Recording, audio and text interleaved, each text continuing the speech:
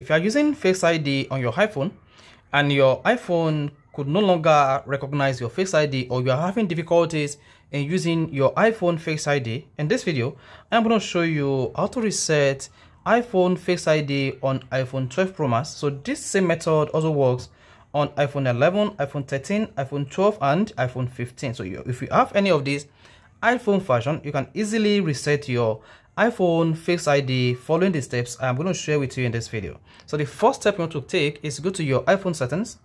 While on the iPhone settings, just scroll down until you get to Face ID and passcode, select it. Then unlock your iPhone with your iPhone passcode. Then you want to scroll down a bit until you see Reset Face ID. Now tap Reset Face ID.